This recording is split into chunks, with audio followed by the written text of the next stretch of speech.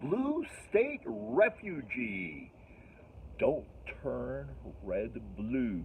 This is Orsi official old guy at oldguytalkstome.com. Well, it's all about creating a kick-ass life for yourself and those that you love. Go check out my podcast and subscribe, share, and review. I'm on the major platforms. Uh, there's lots of stuff to help you create that kick-ass life that you want uh, while you still can. Blue State Refugee. Uh, don't turn red blue. So we have an interesting phenomenon going on in, in the United States here, in these here United States. You got a bunch of people fleeing the politics, the life in these blue states.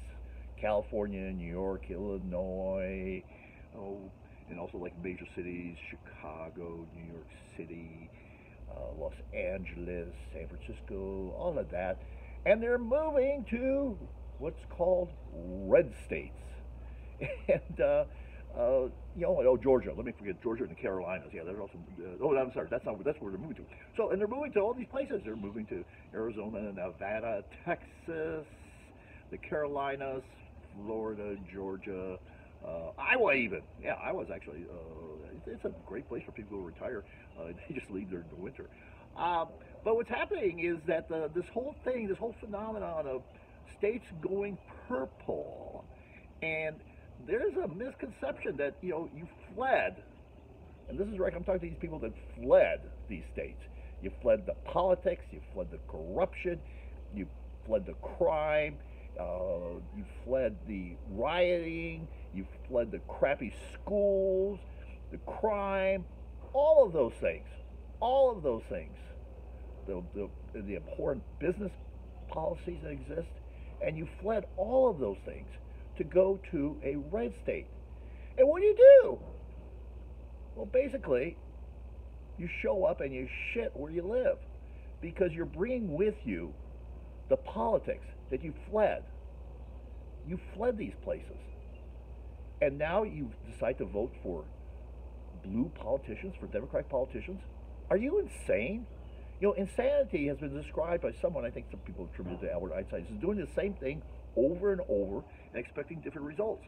So if you continue to elect these so-called progressive, which uh, I think that's a totally misnomer word, uh, progressive politicians, well, guess what? You're going to get the same stuff, and you're going to turn that red state into the shithole that you left. Why would you do that? Because guess what? Once that happens, there's no place to left to go. There won't be any escape. It'll all be blue states. The whole United States will look just like Los Angeles, just like the crime infested areas of New York City and Chicago. Chicago. People being shot all the time and killed on a regular basis. Do you really want that? Well, if you keep on voting blue, that's what you're going to get. Why would you do this insanity? Now you have a little chance here. You know, first of all, you got these elections coming up in Georgia. And then in two years, there's an opportunity to retake the House of Representatives and keep the Senate.